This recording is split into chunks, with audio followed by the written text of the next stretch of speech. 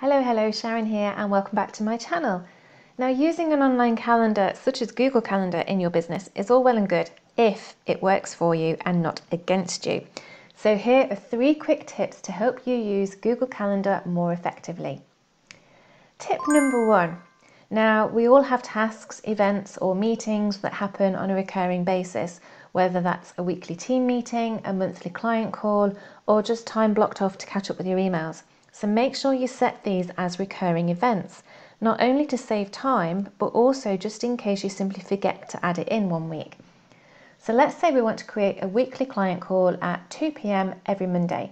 So you can double click into the day and time that you want to, where you want to create the event, or you can use the keyboard shortcut C to create a new event. So now we enter the details, we set the time, and then to set the recurring event, we then click on the drop down arrow next to where it says doesn't repeat here. And you have all these options available, or you can click on custom.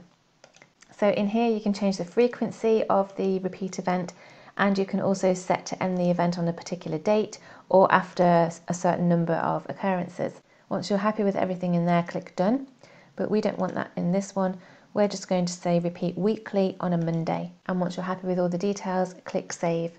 So there's the event I've just created and you can go through to any month and the week and you can see this event has been set up to repeat on a weekly basis at, on a Monday. Now, anytime you want to go to make a change to, to the event, double click into the event and let's say we want to change it to 45 minutes. And once you press save, it will ask if you just want to change this particular event or if you want to change it for the rest of the events in this particular series as well. So moving on to tip number two, which is all about colour blocking your events.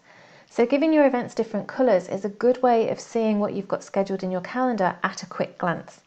So when you're creating your event, let's just do one here and we'll just call this, this testing. So the colour section is next to the calendar name here, just underneath the notification section. So you just click on the drop down arrow and choose a colour that you like and then click save and you can see it's here. Just move that down to there. Now to quickly change the colour of any event you can double click into here and go through the same process of changing the colour and clicking save or an even quicker way of doing it is to just right click on the event and it will give you the option of deleting the event or you can change the colours here job done. So my final tip is for when you want to quickly bring up details of a past event but you can't remember much about it. So instead of looking back through week by week trying to find the event and wasting time, just use the search function instead. So you find this by clicking on the magnifying glass in the top right corner here, and this will bring up the search bar, and then click in the, in the arrow on the right of this to bring up more options. So now you can filter your search by adding in keywords, names, locations, and the date ranges to make it easier and quicker to find past events. Once you've put in the information, click search and it will list all the events meeting the criteria that you've set. To get back to your calendar, click the back arrow next to the search in the top left corner. Now, not many people I know realise there's actually a search function there, so put a magnifying glass emoji in the comments below if you know about it and have used it before. And I'm going to leave you with a quick bonus tip, which is to make sure you go through your default settings, as this is one sure way of saving time in the long run. For example, if you're constantly changing the length of your events, then you can set the default length in your settings.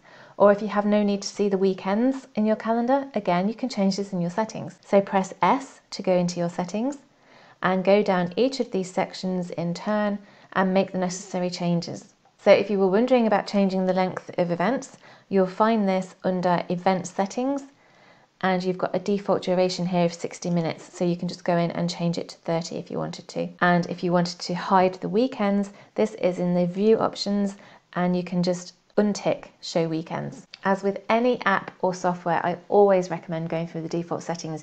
You might be surprised at just what you can change. It's the same in Gmail and I suggest you watch this video next to see which settings I think you should know about and use in your Gmail account.